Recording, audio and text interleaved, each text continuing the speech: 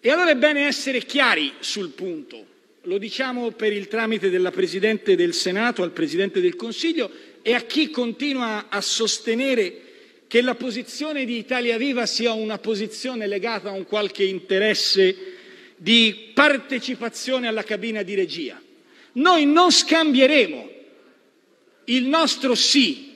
alla proposta di governance in cambio di uno strapuntino o di un aggiungi un posto a tavola, detta in un altro modo, non già al Presidente del Consiglio che ne è consapevole, ma a chi ci segue, noi non stiamo minimamente chiedendo che nella cabina di regia ci sia anche un ministro di un colore politico più vicino al nostro. E lo dimostriamo in modo molto semplice, ricordando agli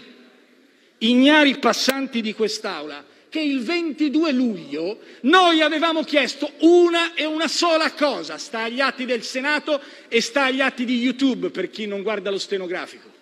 Avevamo chiesto, di fronte ai 200 miliardi da spendere, cifra che non ricapiterà per anni, vorrei dire per decenni purtroppo, o il Parlamento fa un dibattito vero, sfidando le opposizioni, avevamo detto, oppure perdiamo la dignità delle istituzioni.